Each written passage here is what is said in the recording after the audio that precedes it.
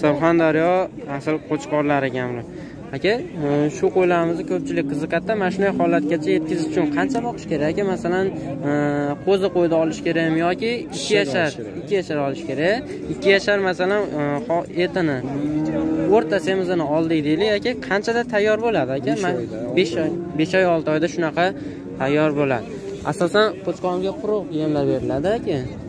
Makka quruq arpa makka asosan quruq yemlarni berib boqadigan bo'lsangiz qo'chqorlarimiz jirt kiloga ham zo'r keladigan qo'chqorlarimiz bo'lib yetishadi.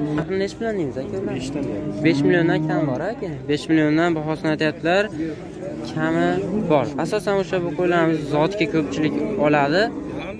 Beshdan aytyaptilar kami bor ekan lekin juda ham zo'rlar ekan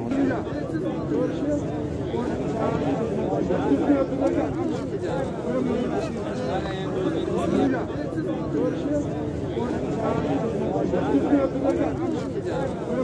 you.